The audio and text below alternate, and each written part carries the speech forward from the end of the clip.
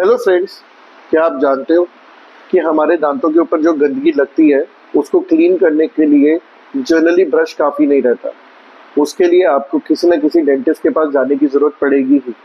क्यों? क्योंकि वो रीज़न ये है, जो वो गंदगी है, वो एक्चुअली बैक्टीरिया की कॉलोनीज है, जो वहाँ इकट्ठी हो चुकी है।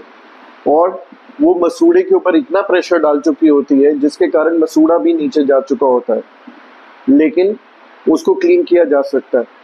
आपसे घर पे ये बिल्कुल नहीं हो पाएगा। आपको किसी न किसी अपने नियर बाय डेंटिस्ट या हमारे पास आने की ज़रूरत पड़ेगी। हम उस जगह पे उस बैक्टीरियाज को अच्छे से क्लीन कर देंगे।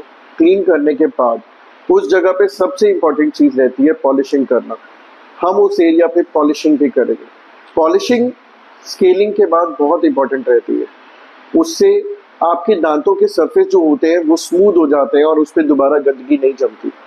तो मेक श्योर नेक्स्ट टाइम आप जब भी कहीं पर अपनी दांतों की सफ़ाई करवाने जाए तो उसके बाद पॉलिशिंग ज़रूर कराए।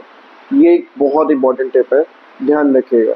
For more information you can call on the numbers given below thank you